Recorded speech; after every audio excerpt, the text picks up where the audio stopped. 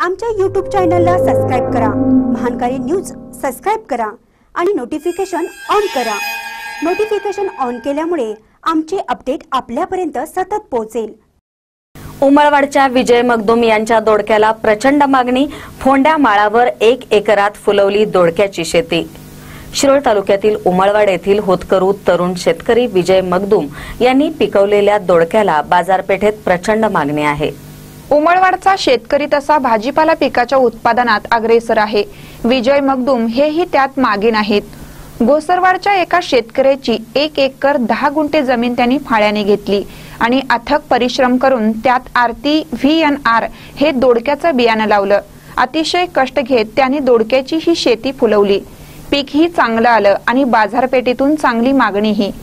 शेतीच्या मशागतीपासून ते उत्पादनापर्यंत मगदुम यांनी दोन लाख रुपये खर्च केले आहेत.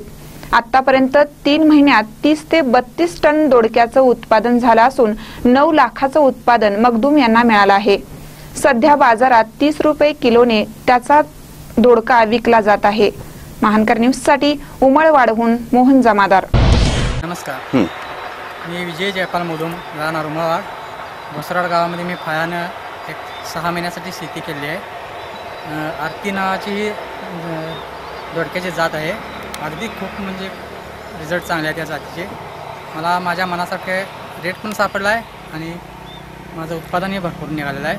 मला विचारायचं की हा मा- हा ही जी ह्या मालाची विक्री कुठं होते म्हणायची आता सध्या? या मालाची विक्री इथं मी सध्या तरी लोकल मार्केटला करतो आहे शिरोळ इथं कुरुंदवाड म्हणा जयसिंगपूर सांगली कोल्हापूर. इचलकरंजीला वगैरे जात नाही माल तुमचा? मी इचलकरंजीला कधी नेलेलं नाही आहे म्हणजे ते मार्केट नाही आहे का व्यवस्थित? नाही आहे. हां. पण मी गेलेलो नाही. मला सोयीस्कर होत नाही ना. ते मी ज्या माझ्या रोडमध्ये जे मार्केट बसतात मला जे सोयीस्कर आहे त्याच्या किती जमीन आहे ही? ही एक एकर दहा गुंठे जमीन आहे. एक एकर दहा गुंठ्यामध्ये तुम्ही या ठिकाणी हा दोडका लावलेला हो. आहे अं, किती दिवस झालं लावून बेल ही? हे एकवीस फेब्रुवारीला मी टोकलेले आहे बियाणं. कशा पद्धतीनं प- याची मशागत केली आणि काय काय म्हणजे या ठिकाणी तुमचं ठिबक दिसते मंचिंग पेपर दिसते कशा पद्धतीने केली शेती दोडक्यासाठी? पलटी मारून रोटर मारून सऱ्या सोडल्यानंतर बेसल डोस टाकून घेऊन ठिबक खातरून दोन दिवस रान भिजवून घेऊन पुन्हा मी दोडका टोकला आहे मल्चिंग करून.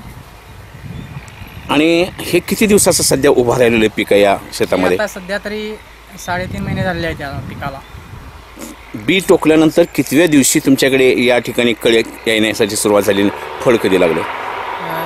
बी टोकल्यानंतर तिसाव्या दिवशी त्याला कळी दिसायला चालू होते. मी बेचाळीसाव्या दिवशी पहिला तोड घेतलेला आहे.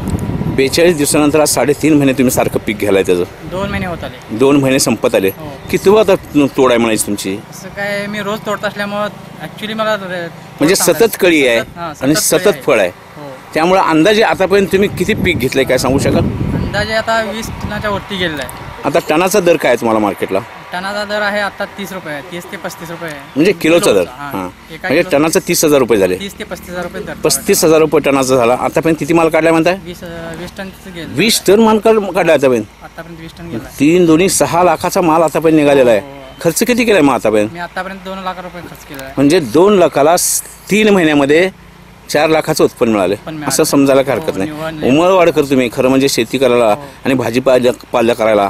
महाराष्ट्रामध्ये प्रसिद्ध आहात. तुम्ही तिथनं उमळवाडचा तिकडचा भाग सोडून तुम्ही दक्षिणेमध्ये इथं घोसरोडमध्ये ह्या माळात आलाय. आणि या ठिकाणी पीक घेतलंय.